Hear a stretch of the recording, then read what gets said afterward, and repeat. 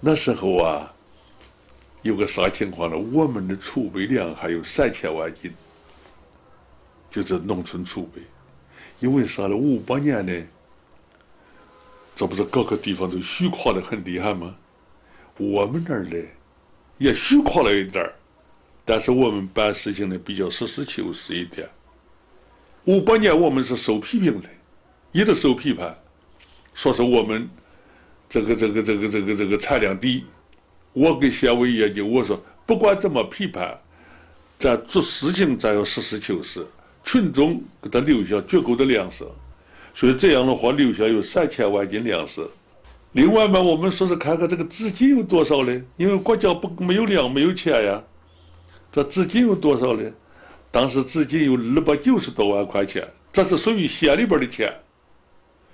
哎，就是大办钢铁时候啊，砍到林县的书啊，这些呃，后来包赔了林县，有些退赔款，还有一些起作什么。在艰难的进军路上，社员们高声歌唱：“贫下中农志如钢，千军万马战太行。劈山引水为革命，定迁漳河回家乡。”一九六零年三月六日，中共临县引章入林委员会在任村公社盘阳村召开会议，杨贵在会上做了要多快好省地完成引章入林任务的报告。在报告中，杨贵提议把引章入林区改个名字。在引章入林区啊，再再再再再再改个名字，咱们叫改成红旗区。我们大家高举红旗前进。这么一说以后，大家都赞成。一说改成是红旗区，大家说：“哎，好好好，这个名字不错。”所以说红旗区呢，就是三月六号的时候。盘阳会议定下来叫红旗区，从三月六号以后，这才叫红旗区了。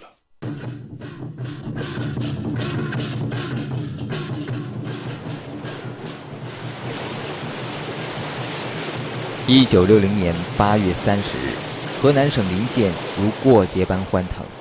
经过五个多月的艰苦奋战，红旗渠总干渠第一期工程胜利竣工。到那天开会的时候，一开会放闸，这红旗的区里边呢，把漳河的水是全部通过红旗渠流下来了。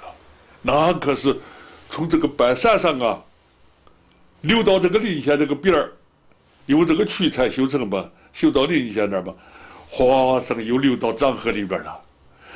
哎呀，群众高兴得很，工人也高兴，群众也高兴。都说啥呢？哎呀，这我的这个这个这个流到临县没有问题。然而，此时的中国正处在三年困难时期中最难熬的阶段。一九六零年十一月，中央发出通知，基本建设项目全线下马。刚刚开始的红旗渠总干渠第二期工程面临窘境。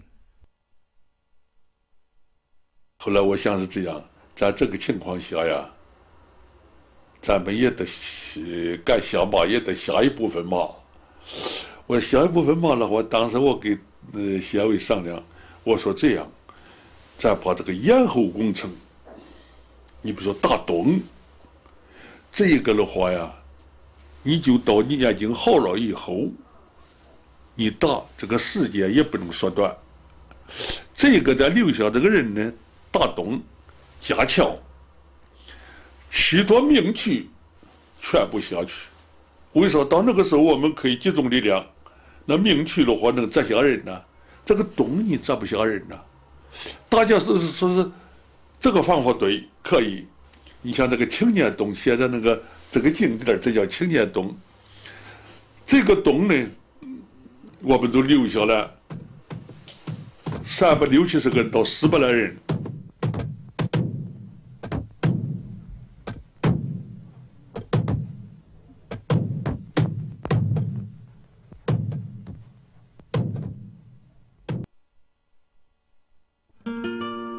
一九六一年七月初，中共中央书记处书记、国务院副总理谭震林来到河南省新乡七里营人民公社，了解大跃进中让老百姓吃尽苦头的共产风、浮夸风、瞎指挥风、强迫命令风和干部特殊化风。这时，作为红旗渠咽喉工程的青年洞工程已近尾声。那时候我们还归新乡管，临县这也还归新乡管。他到新乡去以后呢，到七里营啊，到几个地方去调查，就是要纠正做的错误，啊，这个这个这个这个解决群众生活问题。不久，谭震林主持召开了中共新乡地委纠左会议，临县县委组织部部长陆家林参加了这次会议。结果在这个会议上呢。这地位对我们有意见的人呢，就告我的状了，说杨贵这个人呢，这个个人主义特别厉害，啊，地位的话呢，他根本听不进去，啊，这不是到现在，临县这个这个这个这个饿群众饿的把树皮都剥光了，他现在还在修红旗渠，这个。他还把引张入林改成红旗渠，这个人呢就是好大喜功，哎，他死抱着红旗不放，他们就给谭震林汇报，因为地委给他这样汇报了，就他就就在会上就讲了，他说临县的县委书记是个死官僚啊，直到现在他还呃把引张入林改成红旗渠，死抱着红旗不放。啊，要撤的走。没有参加这次会议的杨贵，就这样突然成为了被批判的对象。这时，临县县委组织部部长陆家林站了出来。大会开了以后，小组讨论。他在小组会上啊，他发个言，哎呀，他说这个谭书记啊，今天的讲话。有些呢也有片面性，你比如说，他点了说杨贵的名字，杨贵是死官僚，要撤他的职，呃，说是主主观主义，不听领导呃的意见，呃，其实嗯不是这个情况。杨贵这个人呢，很注意调查研究，他平常一直在下边转着躲，哎，呃，他这里说这个也不实事求是。陆家林在小组会议上的发言很快反映到新乡地委，新乡地委随即宣布了对陆家林撤销职务的处分决定。